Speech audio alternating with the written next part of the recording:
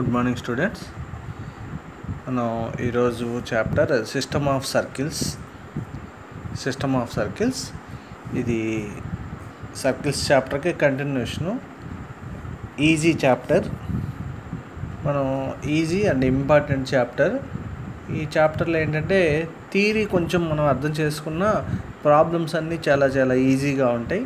దీంట్లో two exercises ఉన్నాయి.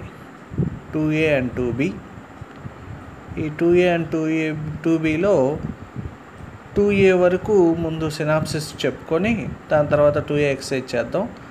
Two B synopsis చెప్పి టూ బి బిగిన్ చేసుకుందాం ఎక్సర్సైజ్ కాకపోతే టూ బి సినాప్సిస్ చాలా ఈజీగా ఉంటుంది. డైరెక్టే ఈ టూ ఏ మీద ఒకసారి సినాప్సిస్ చూడండి.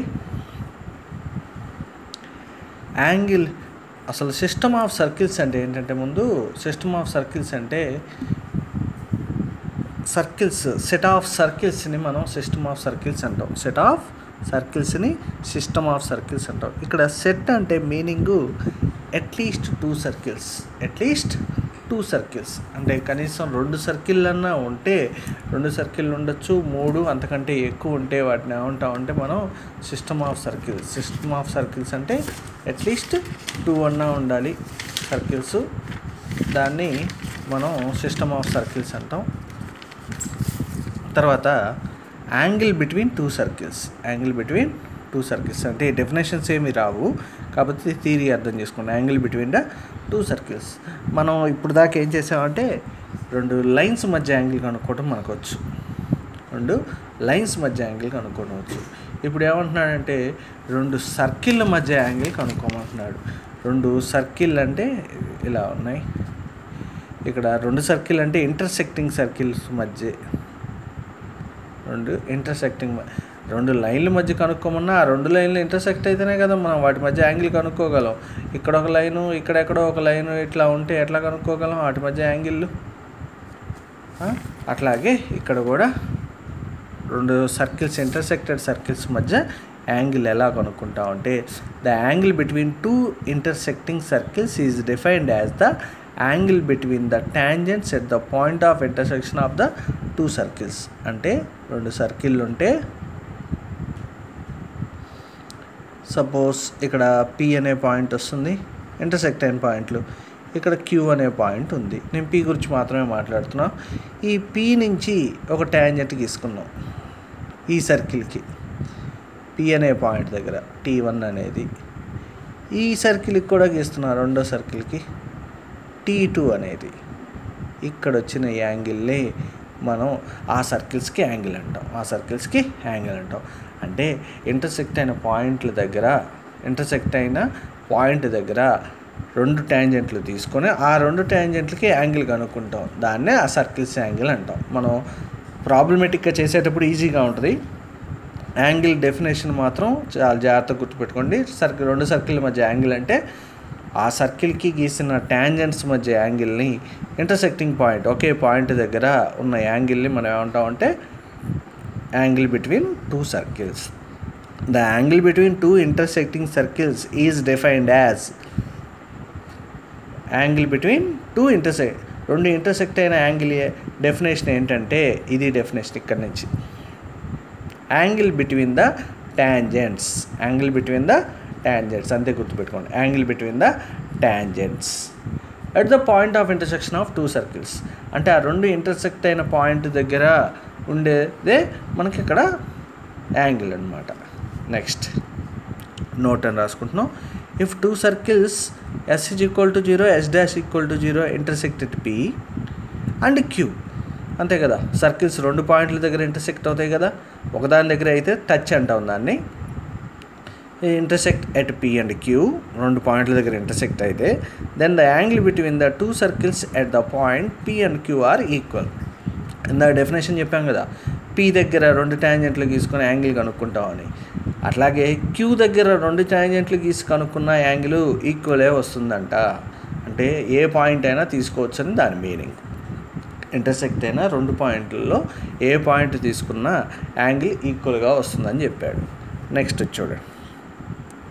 If theta is then angle between the circles cos theta equal to D square minus R one square minus R two square by two R one R two cos theta formula ఏంటంటే అంటే theta డైరెక్ట్గా కనుక్కోవడానికి formula two circles ఉంటే intersect అయితే cos theta కనుక్కోవడానికి direct formula ఏంటంటే D square minus R one square minus R two square ఇక్కడ C one C two ఇక్కడ పి అనేది ఉంటుంది.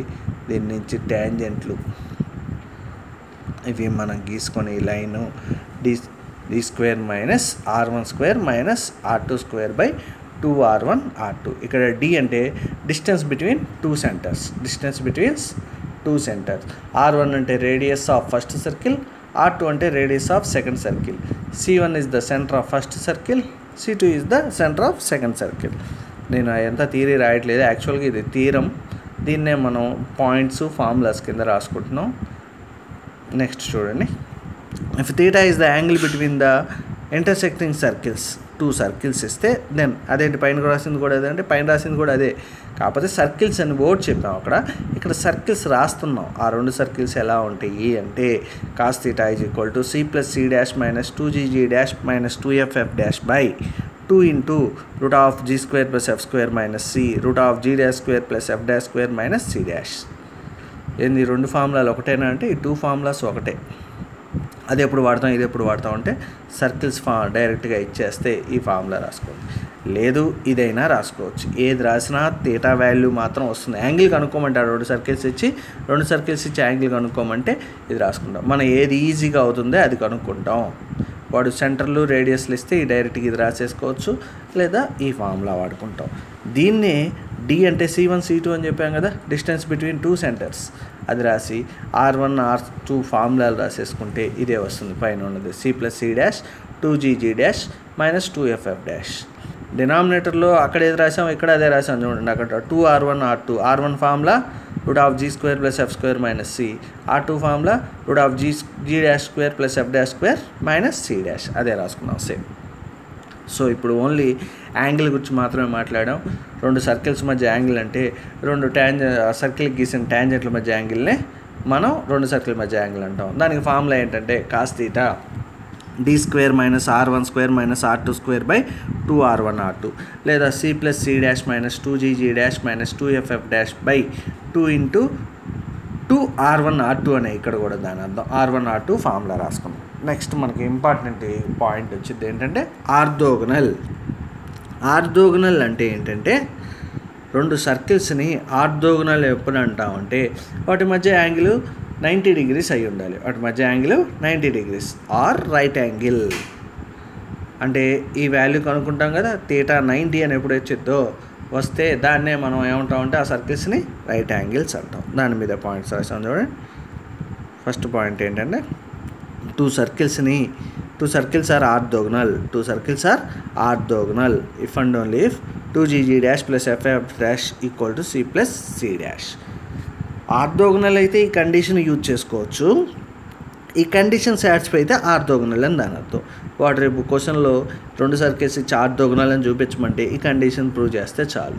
వాడే ఒకవేళ ఆర్థోగనల్ అనే కే విలువ ఏదో ఒకటి కనుక్కోమంటాడు. అప్పుడు ఈ కండిషన్ వాడుకుంటాం. ఇది ఎట్లా వచ్చిందంటే తీటా నైంటీ పెట్టుకున్నాం అనుకోండి ఇక్కడ cos theta equal to ninety cos ninety equal to zero zero అంటే క్రాస్ మల్టిప్లికేషన్ చేస్తే C plus C dash minus two G G dash minus two F F dash equal to zero ఇది పక్క పక్కకు తీసుకెళ్తే అదే చూడండి. కొత్తది ఏమీ లేదు. దీని నుంచే ఇది రాసుకుంటున్నాం. నెక్స్ట్ పాయింట్ ఏంటంటే ఇక్కడ పెట్టుకున్నాం. దీంట్లో theta equal to ninety zero D D square minus R one square minus R two square equal to zero D square equal to R one square plus R two square ఎందుకు రెండు రెండు ఫార్ములాలు అంటే మనం ఏదైనా వాడుకోవచ్చు. ఎక్కడ ఇది ఏది ఈజీగా వస్తుందంటే ఆ ఫార్ములా వాడుకోవచ్చు. ఓన్లీ యాంగిల్ మాత్రమే చెప్పుకున్నాం. యాంగిల్ నైంటీ అయితే రైట్ యాంగిలే చూసుకున్నాం. ఇంకొక టూ పాయింట్స్ చూడండి. Common chord of two intersecting circles S is equal to zero S dash equal to zero is S minus S dash equal to zero ఇట్లా రెండు circles ఉన్నాయనుకోండి. ఎస్ఎస్ డాష్ దీన్ని yes minus yes dash దీని పేరు ఏంటంటే S minus X dash next ఎక్సర్సైజ్లో వస్తాయి. Next ఇది అయిపోయిన ఫస్ట్ ఎక్సర్సైజ్ అయిపోయిన తర్వాత సెకండ్ ఎక్సర్సైజ్లో క్లారిటీ ఉంటుంది దీని మీద.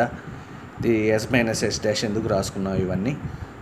అదే నెక్స్ట్ ఏం అడిగాడు చూడండి. కా two circles touch each other రెండు సర్కిల్స్ టచ్ అయితే ఇవి వచ్చే లైన్ ఏమంటామంటే కామన్ ట్యాంజెంట్ ఇక్కడేమో కామన్ కార్డ్ దీని పేరు. ఇదేమో కామన్ ట్యాంజెంట్ సర్కిల్స్ ఇంటర్సెక్ట్ అయితే వచ్చేదాన్ని కామన్ కార్డ్ అంటాం సర్కిల్స్ టచ్ అయితే వచ్చేదాన్ని కామన్ ట్యాంజెంట్ రెండింటికి ఈక్వేషన్ ఒకటే. ఏంటంటే S minus S dash equal to zero. ఇక్కడ కూడా S minus S dash equal to zero. Common chord అన్నా కామన్ ట్యాంజెంట్ అన్నా S minus S dash equal to zero. అంటే ఒక సర్కిల్ నుంచి ఒక సర్కిల్ తీసేస్తే వచ్చేదే కామన్ కార్డ్ లేదా కామన్ ట్యాంజెంట్ అది సర్కిల్స్ మీద డిపెండ్ అయి ఉంటుంది. నెక్స్ట్ ఇంకోటి ఇంపార్టెంట్ చూడండి. If S is equal to zero is a circle and L is equal to zero is a straight line are intersect then S plus K L equal to zero represents a circle passing through their intersection where K is a scalar ఒక circle line ఉంటే ఆ రెండు in- ఆ రెండింటి intersect నుంచి pass అయ్యేది ఏంటంటే S plus K L equal to zero S plus K L equal to zero. దీన్ని కోయాక్సికల్ సిస్టమ్ అంటాం.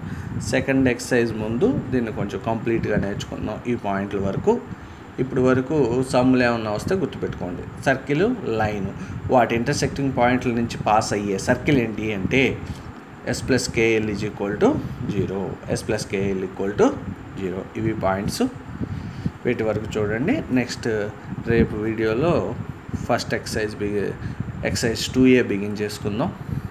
అలాగే రేపు మండే ఎగ్జామ్ ఉంటుంది.